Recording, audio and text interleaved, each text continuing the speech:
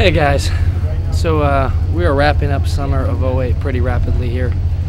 Um, what we did is we kind of uh, took some time off from the studio, got the record mixed and done.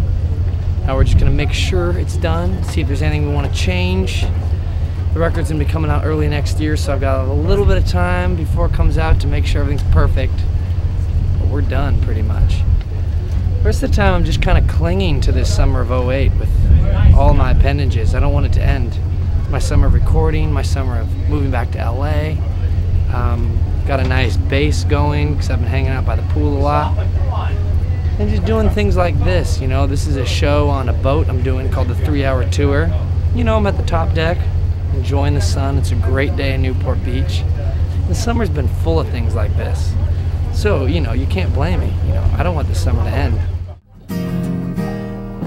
Study up my hollow, a piece of wood to follow, a day that doesn't come to the lucky. And I realize there's tomorrow, but I would never wallow in the rain and winds that seem so hot lucky.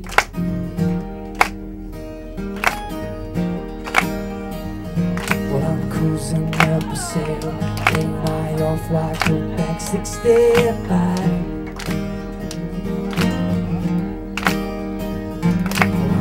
cruising down my own street. And my hoopty says to me, says You better hang on to your bench sheet. I'm gonna take you for a ride and I'll let you know When it comes, when it comes. I'll let you know But don't stay up for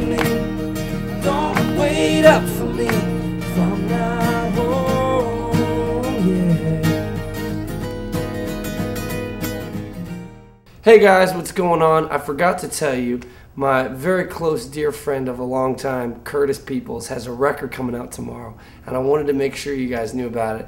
Um, I've got a song on it that I wrote with him, and um, I sang on it a bit.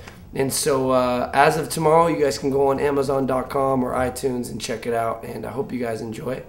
Go see him out on the road and tell him hello when you do for me. Now I'm back where I started. There's lonely dance of a broken hearted.